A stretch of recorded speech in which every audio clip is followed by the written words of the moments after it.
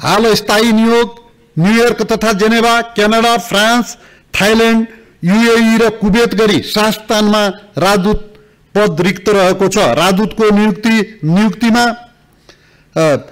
नियुक्तिमा नेपाल सरकारले परराष्ट्रभित्रबाट पचास प्रतिशत र परराष्ट्र बाहिरबाट पचास प्रतिशत गर्ने हाम्रो कार्यविधिको प्रावधान छ र सोही कार्यविधि अनुसार नियुक्त गर्ने सम्बन्धमा उच्च तहमा छलफल भइरहेको छ र यो प्रक्रिया अब तत्कालै टुङ्गिनेछ भन्ने म विश्वास दिलाउन चाहन्छु।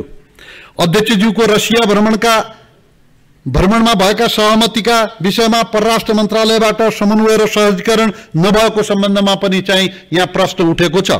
सम्मान्य अध्यक्षज्यूको रसिया भ्रमणका अवसरमा भएको कुराकानीका आधारमा सङ्घीय संसद सचिवालय र पूर्वाधार शिक्षा तथा र स्वास्थ्य सम्बद्ध मन्त्रालयबाट परराष्ट्र मन्त्रालयमा पत्राचारहरू प्राप्त भएका छन्।